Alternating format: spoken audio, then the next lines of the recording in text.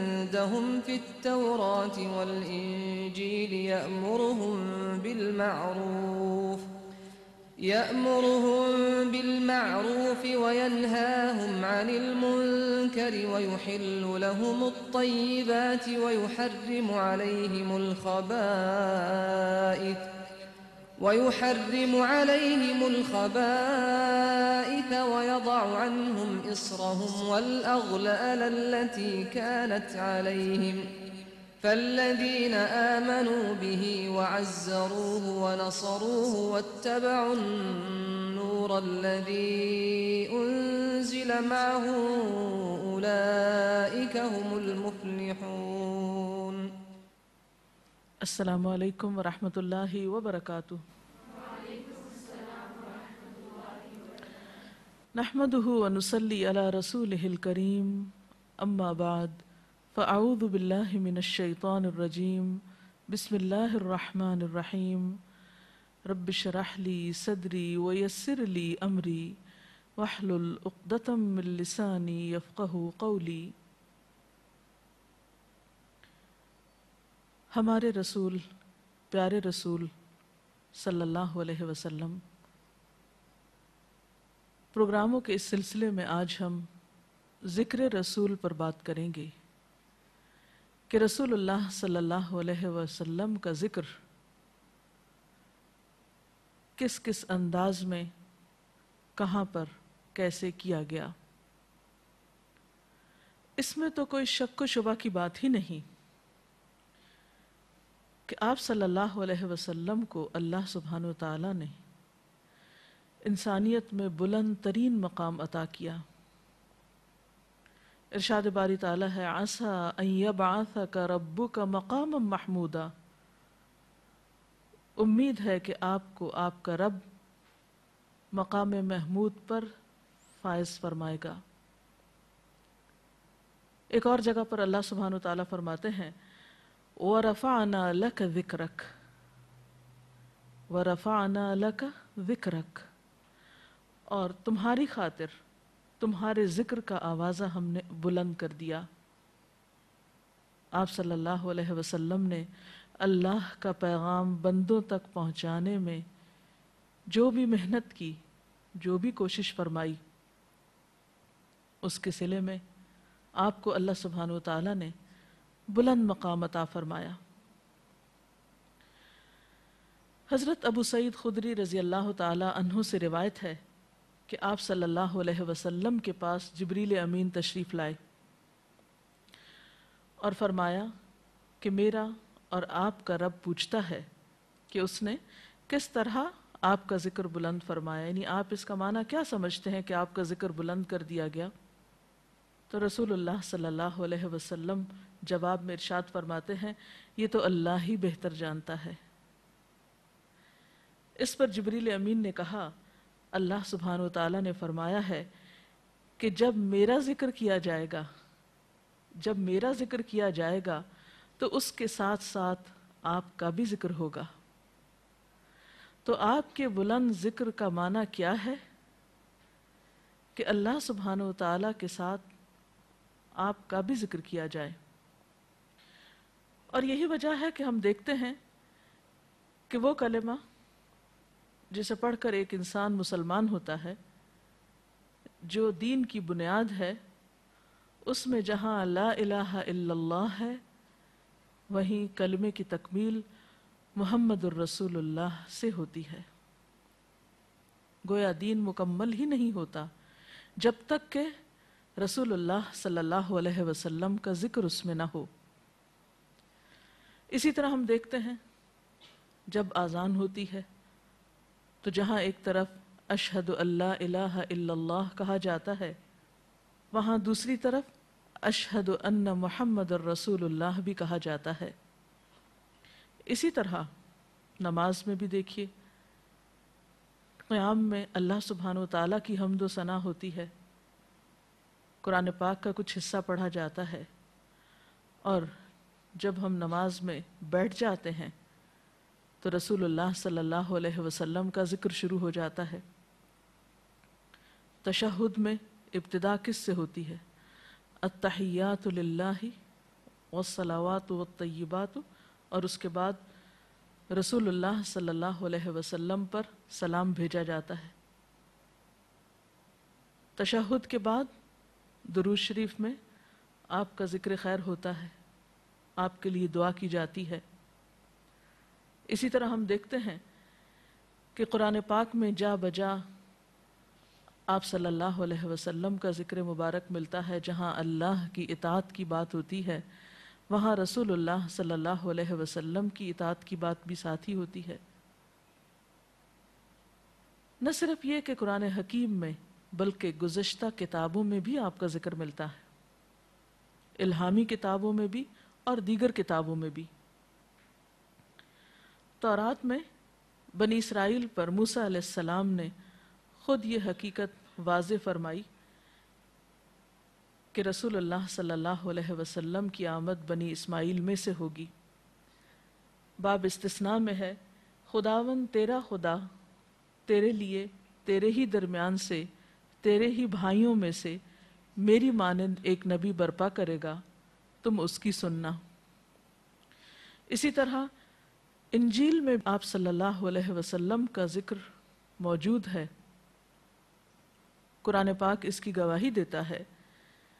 सूरत असफ की आयत नंबर छः में इरशाद होता है व इदक़ाल ईसबन मरियमा, या बनी इसराइल, इन्नी रसूल इलैकुम मुसद्दिक़ल्लिमा बैन यदैय मिन तौराती, व मुबशरम बिरसूल यती मिन बाद इस्मुहु अहमद।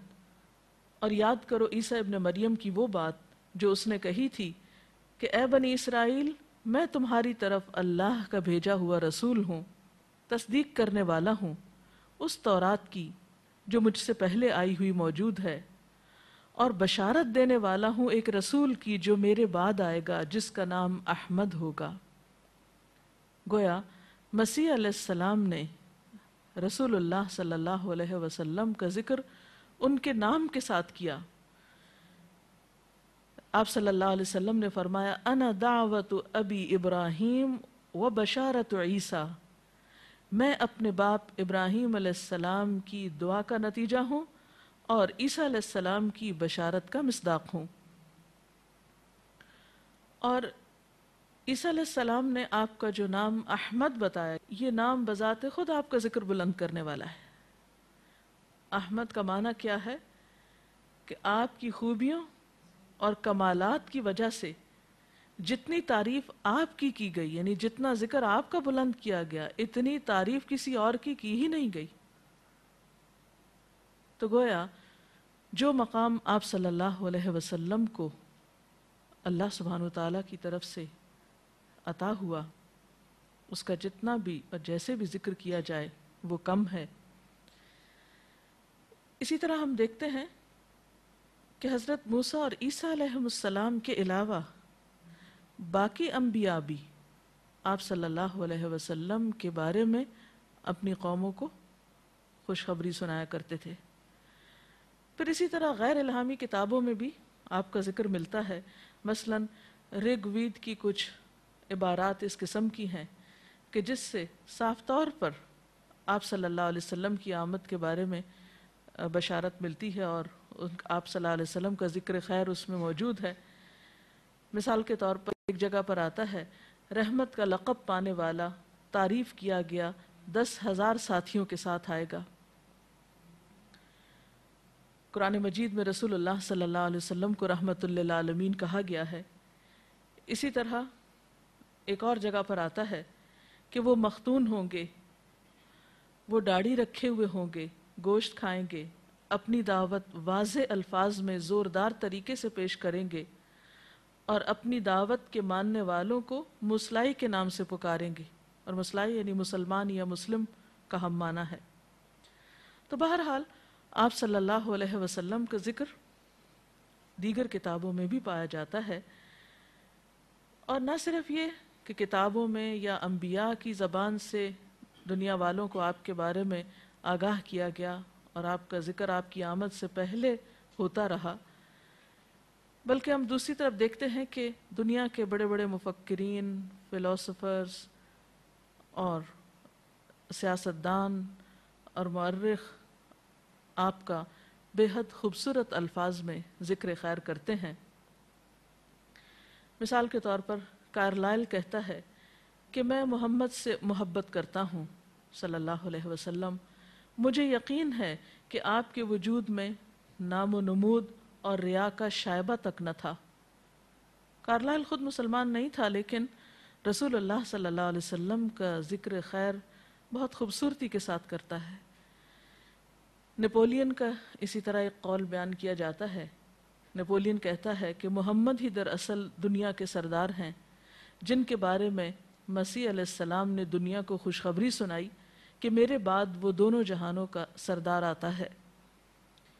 इसी तरह एच जी वेल्स जिसे पैगंबर साइंस कहा जाता है, वो अपनी किताब आउटलाइन ऑफ़ द हिस्ट्री में लिखता है कि आपकी सदाकत और सच्चाई की सबसे बड़ी दलील ये है कि आपके जो सबसे ज़्यादा करीब लोग थे, वो सबसे पहले आप पर ईमान लाए।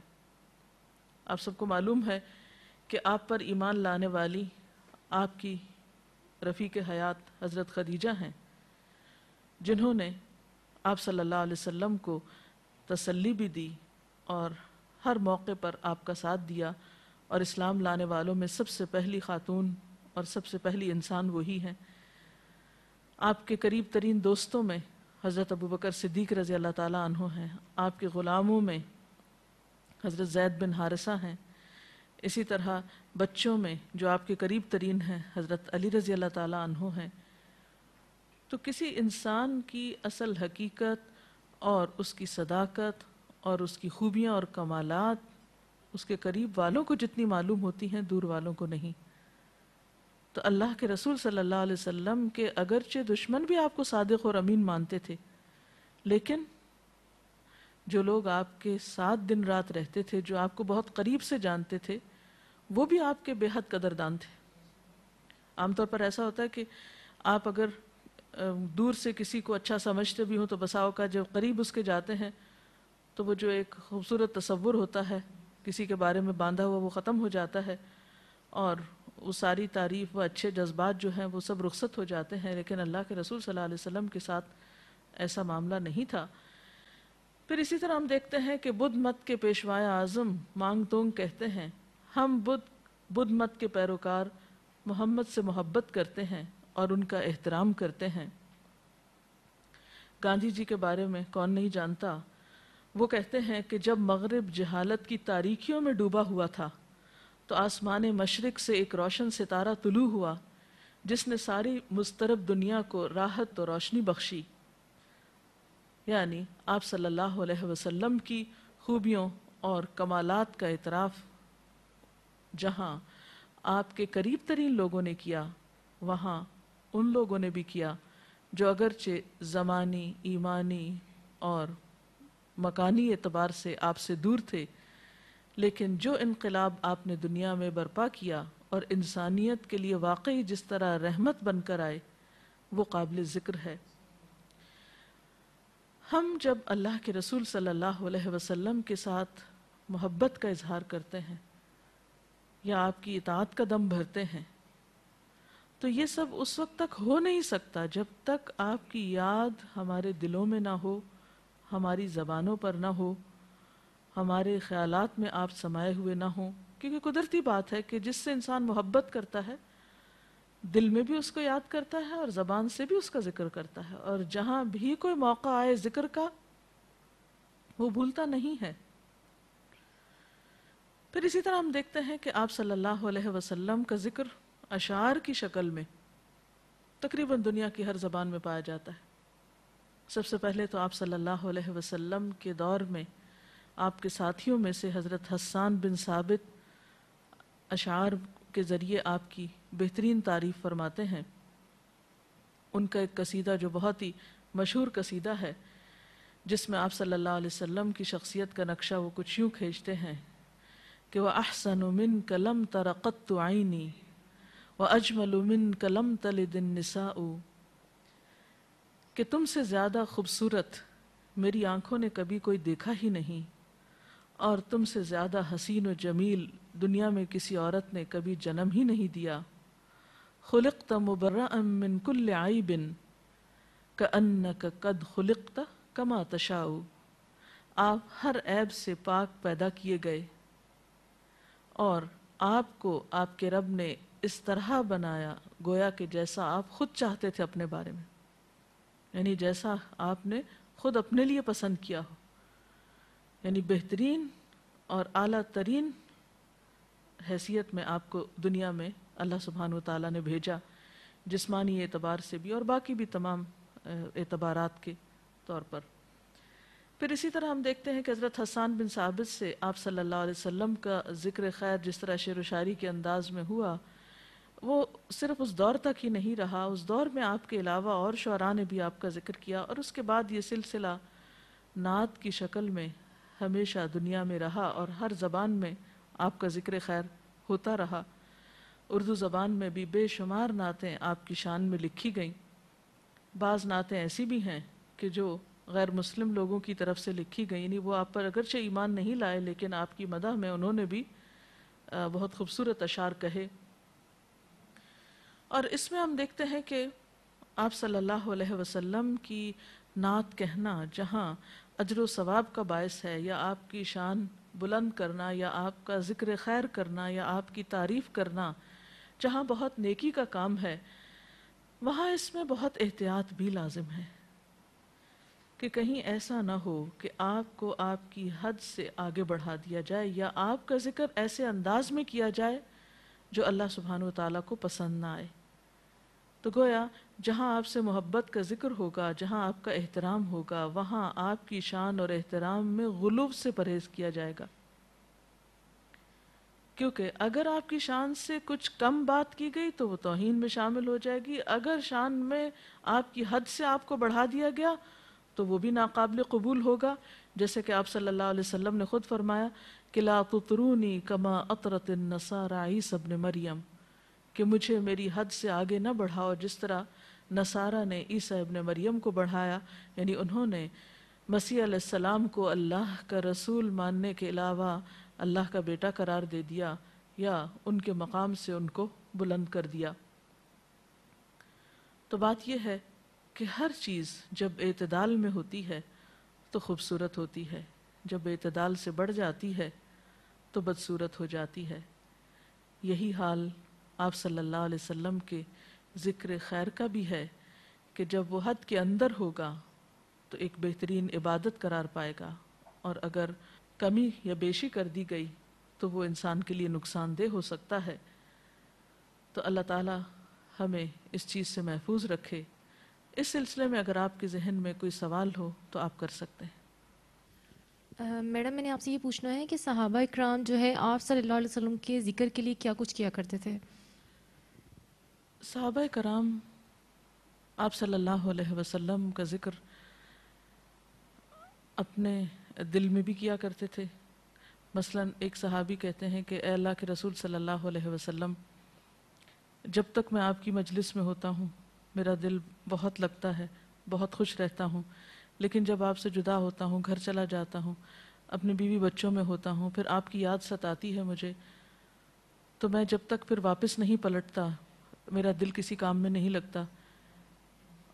लेकिन अब मुझे एक फ़िक्र बहुत सता रही है कि जब मैं दुनिया से चला जाऊँगा, यानी मैं फौत हो जाऊँगा और आखिरत में जब आपसे मुलाकात होगी तो आपका दर्जा और मकाम कहाँ और मैं कहाँ, मुझे अपने बारे में ये भी मालूम नहीं कि मैं जन्नत में जा भी सकूँगा या नहीं। तो उस पर आप सल्लल्लाहु अलैहि वसल्लम ने खामोशी इख्तियार की हती कि अल्लाह सुबहान ताली ने वो आयत नाजिल की कि जो अल्लाह और उसके रसूल सल्लल्लाहु अलैहि वसल्लम की इतात करेगा तो ऐसे लोग क़यामत के दिन अम्बिया सालहीन, सिद्दीकीन, शहदा के साथ होंगे। तो ये भी एक अंदाज़ था, यानी दिल ही दिल में आप सल्लल्लाहु अलैहि वसल्लम को याद करना फिर इसी तरह एक अंदाज़ ये था कि आप सल्लल्लाहु अलैहि वसल्लम की ज़िंदगी में भी जब साहब कराम आपके पास आकर बैठते, आपसे दीन सीखते, फिर जब आप तशरीफ़ ले जाते तो आपके जाने के बाद वो आपस में बैठकर उसी इल्म का मुजाकरा किया करते थे। यानी आपकी बातों को बाहम दोहराया करते थे, एक दूसरे को सुनाया करते थे। फिर इसी तरह याद करने का एक अंदाज ये भी था, या आपका ज़िक्र खैर करने का, कि जब अपने घरों में लौटते थे तो वही बातें अपने घरों में जाकर अपने घर वालों को सिखाया करते थे, उनको बताया करते थे। फिर एक वक्त ऐसा भी था कि सब सहाबा बैक वक्त आपके पास हाजिर नहीं हो सकते थे। तो जो लोग आपके पास हाजिर होते थे, जो कुछ वो आपसे सीखते, वो वापस जाकर अपने उन भाइयों को सिखाते जो काम काज की वजह से हाजिर ना हो सकते। जैसे हज़रत उमर रज़ी अल्लाह ताला कहते हैं कि मैं और मेरा अंसारी भाई, जैसे आप जानते हैं कि आप सल्लल्लाहु अलैहि वसल्लम ने मदीना में एक मुआख़ात कायम की थी, महाजरीन और अंसार को आपस में भाई भाई बनाया था। तो एक दिन हज़रत उमर का अंसारी भाई खेतों पे काम करता और हज़रत उमर आप सल्लल्लाहु अलैहि वसल्लम की खिदमत में हाजिर होते और एक दिन हज़रत उमर खेतों पे काम करते और उनके अंसारी भाई आप सल्लल्लाहु अलैहि वसल्लम की खिदमत में हाजिर होते और शाम को इकट्ठे बैठकर फिर उन बातों का ज़िक्र किया जाता जो वो आपसे सीख कर आते थे। इसी तरह दुरू शरीफ की कसरत के ज़रिए आपको याद किया जाता था। तो इन हम अगले प्रोग्राम में दुरू शरीफ के बारे में तफसीला ज़िक्र करेंगे कि हम किस तरह आपको याद किया करें और अगर आपकी याद आए तो उस याद को किस तरह एक तामीरी ज़िक्र में या एक बेहतरीन अजर के काम में ढाल दें। या ज़िक्र का तरीका क्या होना चाहिए? जी कोई और सवाल? डॉक्टर साहिबा मेरा सवाल आपसे ये है कि आपने फरमाया कि रसूलुल्लाह सल्लल्लाहु अलैहि वसल्लम की कोशिशों का समरा या उनकी मेहनत का नतीजा अल्लाह ताला ने ये दिया कि फरमाया कि वह रफ़ा का ज़िक्र लेकिन तमाम अम्बिया ने भी बहुत ज़्यादा कोशिशें की। तो क्या वजह है कि रसूलुल्लाह सल्लल्लाहु अलैहि वसल्लम का मुकाम सबसे ज़्यादा बुलंद है और आपके लिए खसूसी तौर पर फरमाया गया है कि वह रफ़ा आना का ज़िक्र इसमें हम देखते हैं कि अगरचे हम तमाम अम्बिया की इज़्ज़त करते हैं, उनका एहतराम करते हैं। और जैसा कि कुरान पाक में अल्लाह सुबहान ताली फरमाते हैं कि तिल कर रसुल फ़द्दलना बाद बाद कि ये रसूल जिन में से बास को हमने बास पर फजीलत दी तो ये फजीलत अल्लाह ताला की तरफ़ से है। जहाँ तक हमारा ताल्लुक़ है तो हमारा फ़र्ज़ क्या बनता है कि हम ला नुफ़र्रिक़ु बैन अहद मिनहुम, कि उनमें से किसी एक के दरमियान फ़र्क ना करें। लेकिन बहरहाल जो जिसका मकाम अल्लाह ताला ने जैसा बयान किया है, उसको वैसा बयान करना, फिर वो हमारी तरफ़ से नहीं होगा। अल्लाह सुबहान ताला की तरफ़ से ही होगा। एक बात तो ये है। और इसमें आपका मकाम बाकी पैगम्बरों के मुकाबले में बुलंद क्यों है?